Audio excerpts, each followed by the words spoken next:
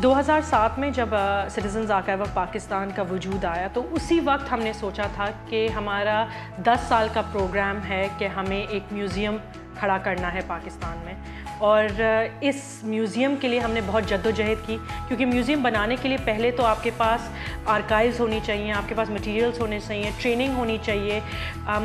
वो सब, मैं कहती हूँ, हमारा होमवर्क था।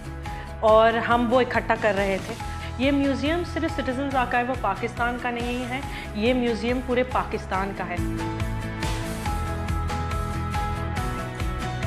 CAP started with the objective of becoming a historical archive.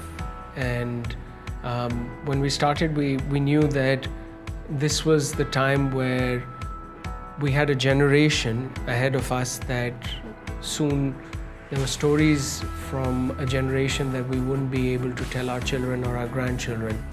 We were very fortunate that um, the government of uh, Punjab was looking to develop the greater Iqbal Park.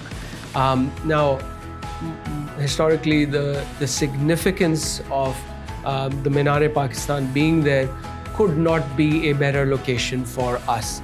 Um, you also have to understand जो हम काम करने निकले हैं, हमारी basic fundamental ये था कि ये लोगों के लिए एक्सेसिबल हो आवाम के लिए एक्सेसिबल हो विज़िटर्स बाहर से आए हुए हो वो आए, उनको पता चले कि पाकिस्तान की स्टोरी और हिस्ट्री क्या है और एक म्यूज़ियम हो जो एक इंटरनेशनल लेवल पे हो। NHM is a one of a kind experience in Pakistan because it uses people's histories, it uses their stories, it uses um, individuals who alone might not matter but who collectively do. So we try to create a collective repository of people's stories and use those stories to curate a museum experience.